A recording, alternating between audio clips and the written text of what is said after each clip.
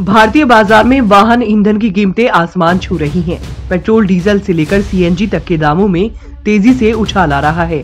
देश में petrol, diesel के रेट तो प्रतिदिन बढ़ ही रहे हैं, साथ ही सीएनजी पर भी महँगाई अटैक कर रही है। राजधानी राष्ट्रीय दिल्ली में कंप्रेस्ड नेचुरल गैस यानी सीएनजी के दाम फिर बढ़ा दिए गए हैं। दिल्ली में सीएनजी गैस के दाम ढाई रूपए प्रति किलो की बढ़त के बाद अब छियासठ रूपए इकसठ पैसे प्रति किलो कर दिए गए हैं। बीते पाँच दिन में सीएनजी छह रूपए साठ पैसे प्रति किलो महँगी हो गई है, जबकि पेट्रोल डीजल के भाव 16 दिन में दस रूपए प्रति लीटर बढ़ चुके हैं। जनता वाहन ईंधन की कीमतों में लगातार हो रहे इजाफे से परेशान है।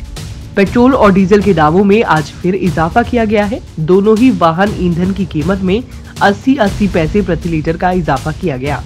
इसके साथ ही राष्ट्रीय राजधानी दिल्ली में पेट्रोल एक सौ पाँच रूपए इकतालीस पैसे प्रति लीटर, जबकि डीजल छियानवे रूपए सड़सठ पैसे प्रति लीटर पहुँच गया है।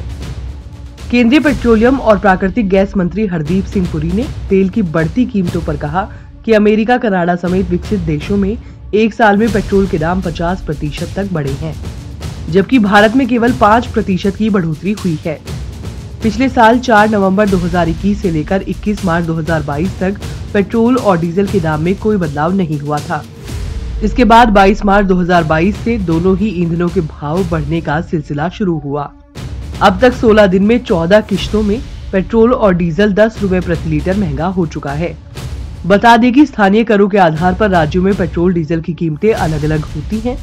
पेट्रोल डीजल की महँगाई से फ़िलहाल राहत मिलने की कोई उम्मीद नहीं है। एक्सपर्ट्स के मुताबिक ऑयल मार्केटिंग कंपनियों को अपने पिछले साल नुकसान की भरपाई के लिए पेट्रोल डीजल की कीमत में कुल 15 से 20 रुपए तक का इजाफा करना होगा।